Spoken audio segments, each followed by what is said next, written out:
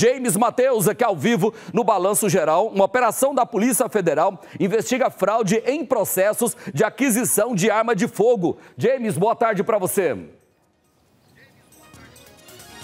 Boa tarde para você, Oloares. Boa tarde também para todos de casa que acompanham o Balanço Geral. É isso mesmo, um trabalho realizado pela Polícia Federal em três estados, aqui em Goiás, Minas Gerais e também no Tocantins. Estão sendo cumpridos 19 mandados de busca e apreensão em várias cidades e são mais de 80 policiais federais que estão atuando nesta operação. Os mandados, Oloares, estão sendo cumpridos nas cidades, aqui em Goiás, Catalão, Orizona, Urutaí, Ouvidor e Anápolis. Lá no estado de Minas Gerais é na cidade de Guardamor e no estado do Tocantins é na cidade de Palmas. A Polícia Federal está investigando então as fraudes na compra de armas de fogo. Segundo o que foi apurado pela Polícia Federal até o momento, foi identificado fraudes, falsificações de documentos Documentos esses como laudos de comprovação de capacidade técnica para manusear uma arma de fogo.